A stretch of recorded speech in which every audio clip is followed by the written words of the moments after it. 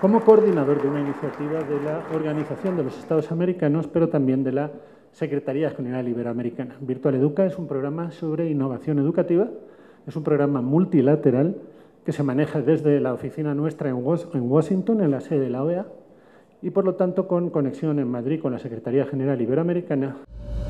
Nosotros decimos que hay una nueva educación. Fíjense ustedes, hay una nueva economía.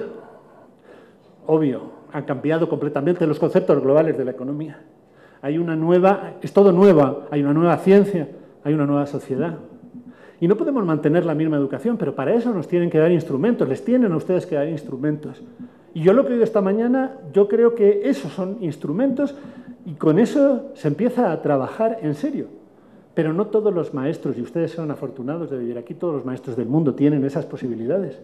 Entonces, muchas veces la tecnología para los maestros está ahí, pero como concepto, no como práctica. Entonces, si no se visualiza la nueva educación, no podemos visualizar la nueva, la nueva aula donde el alumno está con el maestro. En el momento que un país progresa dos lugares en el conocimiento de sus estudiantes de las matemáticas y la física, el Producto Interior Bruto de ese país aumenta el 2%.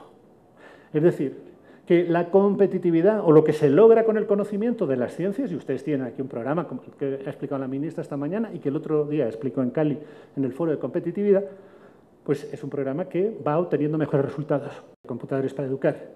Estamos hablando de una educación de calidad para lograr la inclusión, porque si no, no vale la pena. Muchas gracias y enhorabuena por, por el evento, el entusiasmo que he visto esta mañana.